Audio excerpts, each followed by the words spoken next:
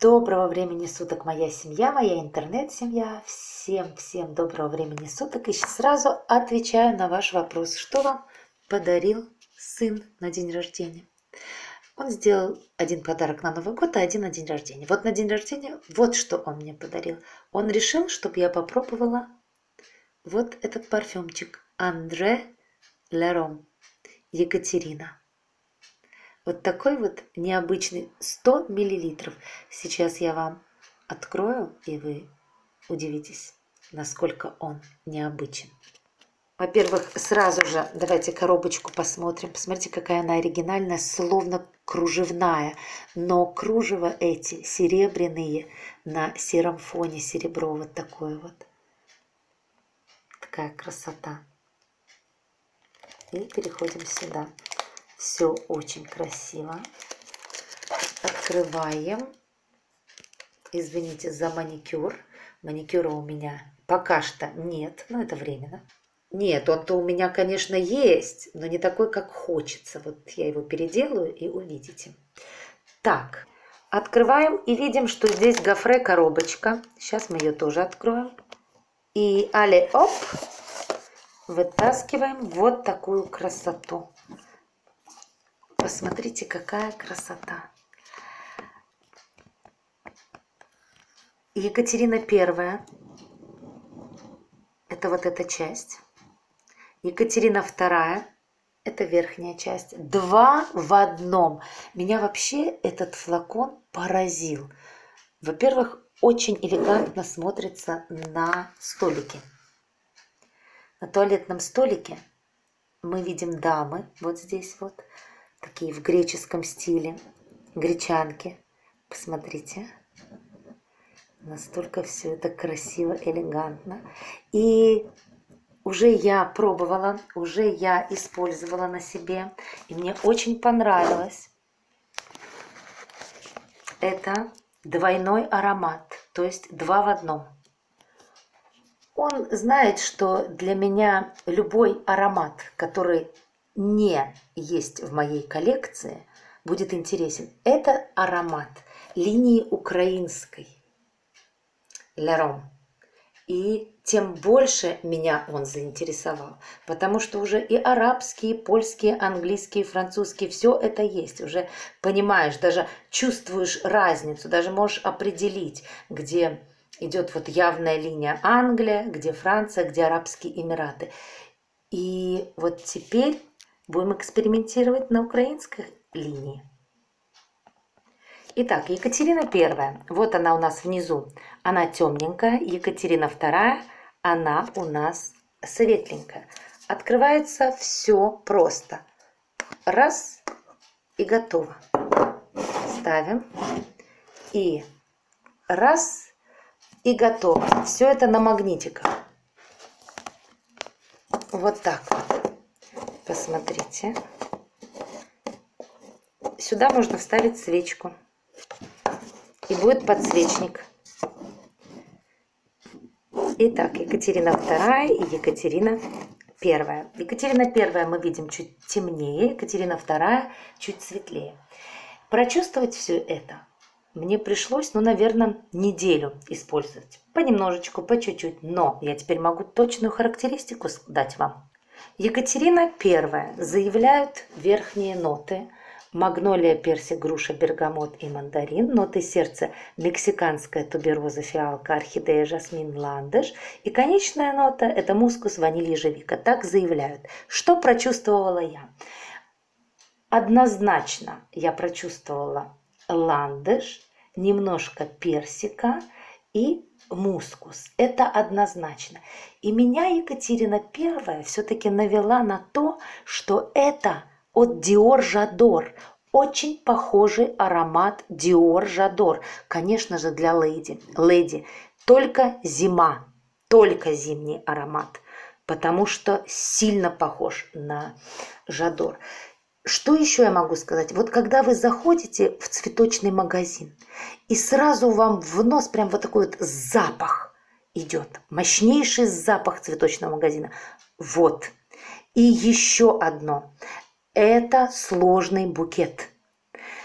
Очень сложный букет. Поэтому никак не подходит для девочек 16, 17, 18 лет. Как минимум с 25 можно начинать. Это все-таки для дам. Следующее. Следующая Екатерина II. Здесь другая картина. Заявляют верхние ноты киви, ревень, красная смородина, ноты сердца арбуз, цикламен, жасмин и коне, конечная нота мускус, сандал, грейпфрутовое дерево. Однозначно здесь чувствуется в средней ноте арбуз, грейпфрут тоже, и чувствуется мускус. Поэтому делаю вывод, очень сильно похоже на императрицу номер три от Дольче Габбана. Помните? Вот очень похоже. Это свежесть, это элегантность, это нежность, это однозначно э, конец весны, начало лета и любой возраст. Вот любой. Мне кажется, любой девушке это понравится. А, утро, день, замечательно. Вот эти духи, зима и, скорее всего, вечер. Вот такую историю я вам рассказала, дорогие мои. А, и еще в каждом аромате присутствует такая легкая химозность, но не больше, чем в современных точини, феррагама, вот такого плана. Дизайн оригинальнейший, отличная задумка. Вот для меня все плюсы. А теперь, поскольку я в окружении мужчин всегда, я имею в виду, у меня сыновья, у меня братья, у меня муж, муж хотела сказать мужья, муж, я хочу сказать, что мои мальчики, знаете, какой аромат выбрали? Вот этот. Екатерина II. Они сказали однозначно потрясающий. Да этот они так себе сказали. Да, нормальный, нормальный. Да, прямо вот букет цветов. А вот этот они сказали очень, очень классный. Вот так вот. Думаю, что кому-то я помогла своим описанием. Все, что мне остается сделать, это поаплодировать. Вот так. Особенно для масс-маркета. А сейчас, дорогие мои, я к вашим сообщениям перехожу. Юлечке Соловьевой спасибо за твои сердечки. Принимаю. Мадиночка пишет, очень интересно. Вот это да. Спасибо большое, Катя, за интересное видео. А, благословит вас Бог и нашу интернет-семью. Всех. Да. Дальше я сразу всем, конечно же, а, сердечки буду ставить. Немножечко попозже. Так, сейчас всех посмотрю, сначала прочитаю. Дальше пишет Маргарита Медведева. Выглядите отлично, ваш цвет умница. Спасибо. Спасибо, Маргариточка. Это на тот ролик, где Ага, я поняла. Дальше Толик Матвеев. Сейчас рожает моя Светланочка. Господи, благослови ее на легкие роды. Прости ей все прегрешения. Пусть все пройдет хорошо. Светланка будет радостной. Ребеночка родит здорового и умного. И дальше молитва. И мы также молимся. Я сразу же помолилась, как только мне написал Толик Матвеев. И я помолилась именем Иисуса Христа, потому что Он был распят, и Он пострадал за наши грехи и болезни, понес на кресте. Поэтому именем Иисуса Христа я помолилась за Светланочку и за то, чтобы все, все роды разрешились отлично, как можно лучше. И все произошло хорошо, на высшем уровне, чтобы руками врачей работал Господь. Вот так. Гулин. Амин, принимаю. Доброй ночи, леди моя Кэти. Всегда так, с такой любовью, с такой добротой Гулин пишет. Э, люблю смотреть твои видео. Спасибо большое за информацию и за все новости. Милая, я с вами согласна. Обязательно есть обязательства у каждой семьи. У каждой семьи есть свои правила. Надо жить этими правилами. Тем более семья королевы. Иначе трудно будет жить без правил в семье королевы. Вот это мое мнение. С благословением ко всей интернет-семьи. Я люблю вас, написала Гулин. Спасибо, Гулиночка, и вам благословения, здоровья, родным, близким, всем, всем, всем, чтобы все было хорошо. Наталья пишет, Пивоварова, я очень шокирована, что эта пара заявила. Они действительно хотят сидеть на двух стульях. Это про Меган и Гарри. Меган и Гарри, напоминаю, они решили отойти от королевской семьи официально. То есть про уйти, что называется, в мир. Уйти в мир и жить в миру. И это они объявили. Э, они действительно хотят сидеть на двух стульях, пишет Наталья, но, как показывает практика, на двух стульях не усидишь, и в итоге ты упадешь. Если они не образумятся, то их, увы, ждет падение, ведь против Бога и семьи не идут. Это золотые правила, которые они хотят нарушить, дай Бог им выразумление. Видите, Наталья, как мне написали другие, каждый эм, вправе выбирать. Вот они сделали свой выбор, ну, мне так кажется. Неся Немировский пишет, насколько приятная пара Уильям и Кейт, насколько неприятная пара Гарри и Меган. Это субъективное мнение Несси. Было бы очень хорошо, чтобы они действительно вышли из королевской семьи. Они совершенно не подходят своим поведением королевской семье, пишет Несси. Опять-таки на то видео, где Меган и Гарри объявили о том, что они хотят уйти. Дальше. Маргарита Медведева, спасибо, понравилось очень. А, это луки выбирали, да, луки выбирали. Теперь Роза Аделбекова пишет, Розочка нам. Спасибо, Катрина, за видео. Меган, видимо, устала от всех ограничений жизни королевской семьи и внимания прессы. Она не была воспитана и не получила воспитания для такой жизни. Розочка, вы знаете, она все-таки актриса была, внимание прессы у нее было.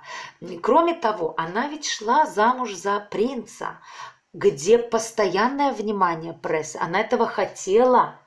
Она хотела большего внимания, чем у нее было, ведь она голливудская актриса, актриса из Голливуда, понимаете? Помните, как эм, принцесса Монако, когда выходила за принца, она знала, на что идет и она отказалась от своего дальнейшего э, Грейс Келли, да, она отказалась от той жизни, которую она вела до того. Она ведь была знаменитейшая актриса. И она полностью отошла, она стала, она приняла эти правила, она знала, куда она идет, и она очень достойно прошла путь. Да, закончила она, конечно, очень скоропостижно за рулем в аварии, но она достойно прошла путь. Именно достойно. Она родила троих детей, она была верной женой, она приняла все правила и соблюдала их безукоризненно. И, конечно же, все королевство Монако, они восхищались своей Грейс Келли. Да, Роза, скорее всего, вы правы, что вы написали «Она устала от всех ограничений жизни». И вот еще, Розочка, мы все, в принципе, ограничены в этой жизни. В том-то и дело, что если бы мы жили без ограничений и позволяли себе бы все вольности – нам, вы знаете, что мне нравится? Что Господь самый лучший демократ. Он нам дает все. Вот вам все вольности. Вот, выбирайте. Хотите сюда, хотите туда. Все, да, да, нет, нет. И вот тут мы очень четко должны различать, что такое хорошо, что такое плохо. И я вам хочу сказать, ограничения есть в каждой семье. Уже стать супругой – это ограничение, дорогие мои. Вот нужно выбирать. Дальше Еленочка Петросова написала на то, где холопы и крепостные. Да, мерзко написала Елена Петросова. Почему вот Леночка написала мерзко? Да потому что действительно и у меня это вызвало такое мерзопакостное состояние, такое, знаете, как будто тебя грязью облили. Это то видео, где э, вот этот вот политик, он раздавал деньги на Рождество или там на Новый год, не знаю, но на рождественские праздники, на великие праздники для христианского мира он раздавал пожилым людям. И там люди тянули руку, он давал им по тысяче рублей и приговаривал, холопы, держите, крепостные. Для меня, конечно, это инвалиды, дети. Это было. И, и все, и молчок. И люди никак не отреагировали. Я просто была ошарашена. Вот как Елена Петросова написала, мерзко. Это мерзко. Вот если ты даешь милостыню, то давай ее от чистого сердца, с любовью. А тут человек просто унижает показывает это. Это действительно мерзко, как он унижает народ.